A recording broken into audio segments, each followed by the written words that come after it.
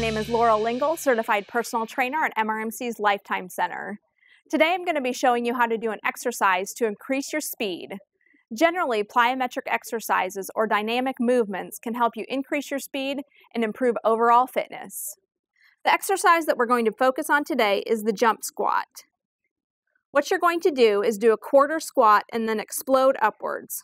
Wait three to four seconds and repeat. This has been Laurel Lingle showing you how to do the jump squat to improve overall speed. Thanks for watching.